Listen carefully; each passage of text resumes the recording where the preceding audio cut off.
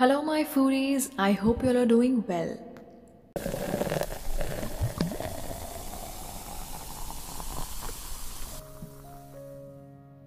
How about drinking a chilled beer with some friends after a really tiring day?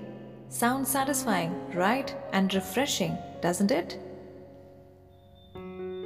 Let's go back to the time when fermented beverages started, that is, in the Indus Valley civilizations near about 5000 years ago. This was the time when fermented beverages started. The term beer is applied to a beverage which is made by fermentation of barley malt or simply say from grains or other plant sources. The production of beer and some other alcoholic beverages is referred to as brewing.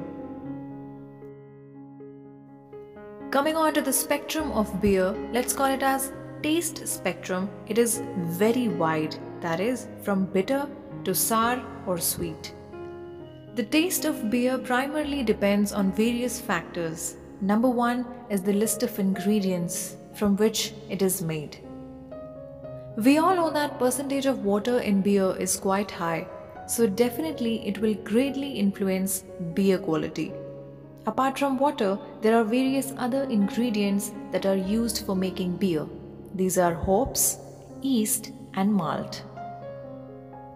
Hops are responsible for adding bitterness to the beer, whereas yeast gives a sugary taste to beer and carries out fermentation. Coming on to malt, it is basically a germinated cereal grain that has been dried in a process known as malting. Here, the grain is made to germinate by soaking in water. Malt add grainy flavor to the beer. At number 2, let us talk about temperature as it significantly affects the taste of beer. Okay now foodies, tell me have you ever thought that why does beer taste better when it is cold or even chilled? Well, beer does not always taste better when it is served cold. The appropriate temperature of beer varies based on the type of beer. Our taste buds become numb when it comes in contact with cold food items or beverages. Therefore, the colder the beer is, the less we taste it. Also, they have more of this refreshing aspect. As per brewing experts, beer temperature plays a very crucial role in determining its taste. So if we simplify this, then if one wants to experience the actual taste of beer, then they should consume all the light beers when it is chilled and all the strong beers when it is at room temperature. At number 3, we will discuss about the type of containers used, that is either glass bottles or the metal containers.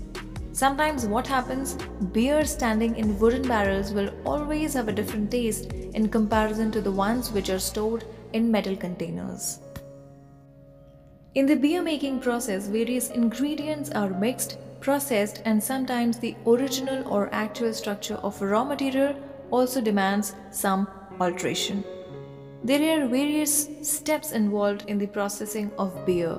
The journey of grain starts from the malting, followed by milling, mashing, lautering, wort boiling, wort clarification, fermentation, storage, filtration, and finally it is filled in the bottles.